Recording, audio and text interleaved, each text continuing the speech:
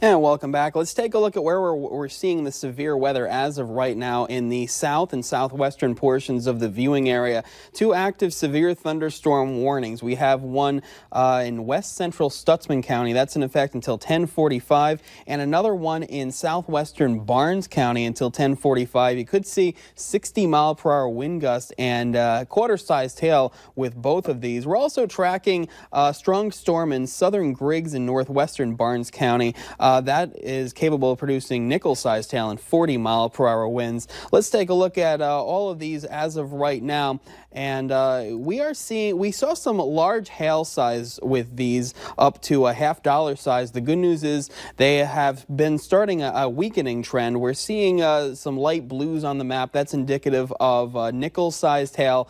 But uh, over the last hour or so, we've seen some yellows on the map, and that is indicative of over quarter sized hail. So here's where the, uh, uh, risk of hail is right now, just off to the north of Medina, the north of the Wimbledon area, and say south and east of Jamestown and south and west of Valley City as you approach the Litchfield area. So again, we have two active severe thunderstorm warnings, uh, both in effect uh, in, well, one of them is, uh, yeah, both in effect until 1045. That is for west central Stutsman County and southwestern Barnes County. Again, capable of producing inch hail and 60 mile per hour winds. Now, making our way further north, we are seeing the uh, just some light rain showers up in this direction. And uh, we are seeing a cold front making its way through the viewing area as of right now, giving us those storms. And we're tracking another one that will make its way through for the day tomorrow. This low and this warm front could give us more severe weather for your Sunday evening. Let's take a look at what we're looking at right now.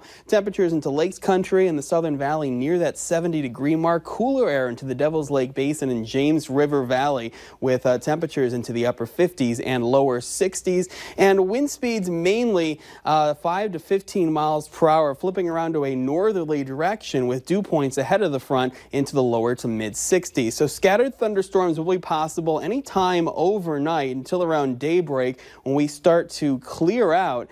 And then we will spend most of the day on Sunday mainly calm. We're tracking the severe weather entering our viewing area between 6 and 8 p.m. and moving through possibly strong to severe as we go through the evening hours. Now let's take a look at that seven day forecast and that lasts until the early morning hours on Monday. And then we really cool off into the upper 60s for Tuesday. Another chance of some rain showers in the morning. Sunny on Wednesday, a high of 78, 80 on Thursday as we dry out for midweek. Then for Friday, another chance of some showers and thunderstorms with a high of 83 degrees. So get ready for those storms, but it sounds like some have been moving into our viewing area tonight, too. Yeah, we're seeing some storms tonight and then another chance for Sunday evening of some uh, st uh, strong to severe storms. Okay, thank you, Justin. Mm -hmm. Tonight's Healthier Me, cutting carbs might also be cutting years off of your life. A new medical study suggests that low-carb diets could be taking up to four years from your lifespan. Valley News Team's Katie Opperly joins us in the studio with more from this study and what it takes to stay healthy. Katie?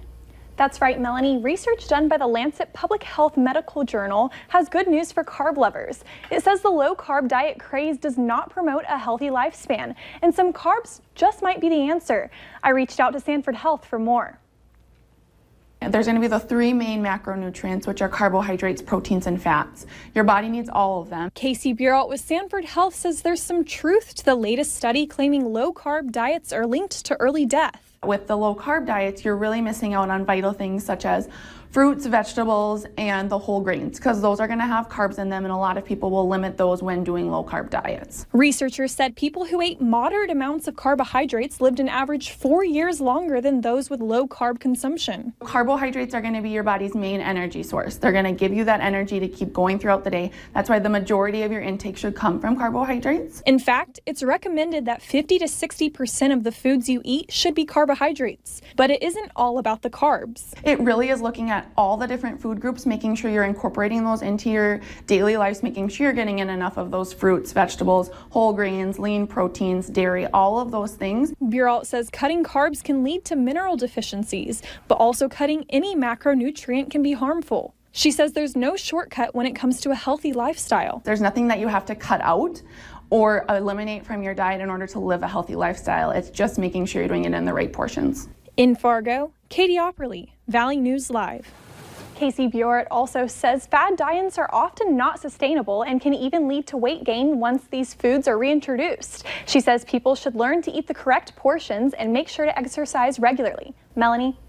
Okay, thank you, Katie. We will have a link to the study on our website. You can go to valleynewslive.com and click on this story. And joining us now with sports is Alex, and you have all kinds of sports action for us. we certainly do. It is football time uh, across the country, really, and uh, we'll tell you about a very big game that's happening one week from today. That's next in sports.